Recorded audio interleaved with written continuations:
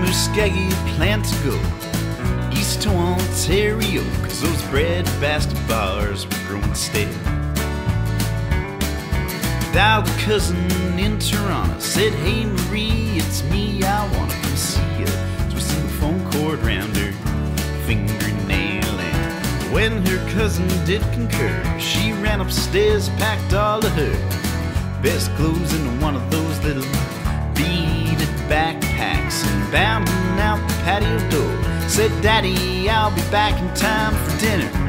He didn't look up and she didn't look back. He nowhere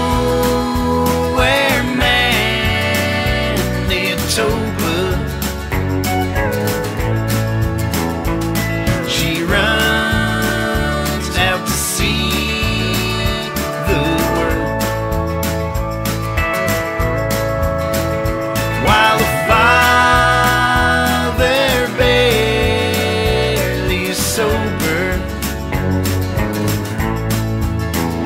sees the last of his little girl.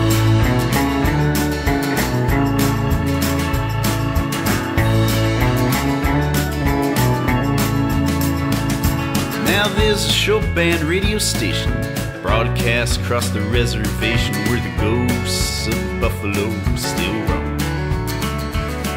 And having received her father's call across the airwaves, old Tom drawls, and the Muskogee, won't you phone or go home?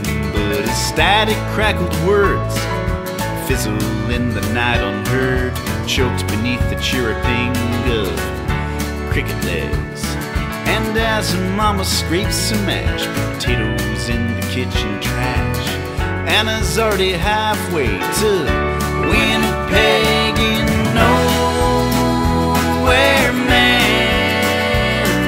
Manitoba.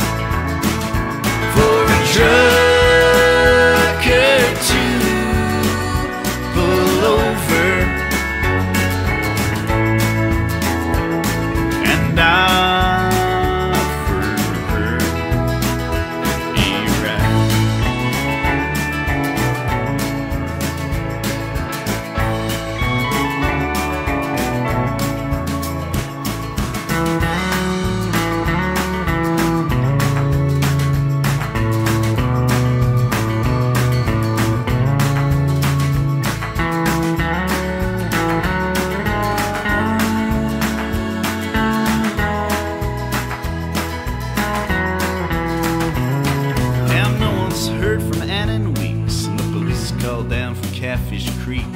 Search for the better part of a Saturday, but by Monday night the chief calls it quits and says, "Let's be honest, boys, it's just another goddamn engine running away now." Wind creaks in the highway signs, cyclones in the combines. At the end of September. Tears missing signs from telephone poles. Xerox sucks the very soul of a face. No white man.